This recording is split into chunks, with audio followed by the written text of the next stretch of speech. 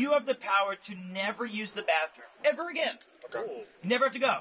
You can live your life without ever using it. You never have to visit it. But you need to transfer your piss and shit to another person in your line of sight and make them shit or piss themselves Yes. in your place. Yes, yes, I do this. No way. Hundred percent. Oh, wait, wait. Can we uh, slightly tweak it that they Because- need to go to the bathroom then? Because I would love to like. I'm Chris is like being at home. I'm like. ¡Coño carajo, hijo de la puta mierda! ¿Qué yo te dije a ti?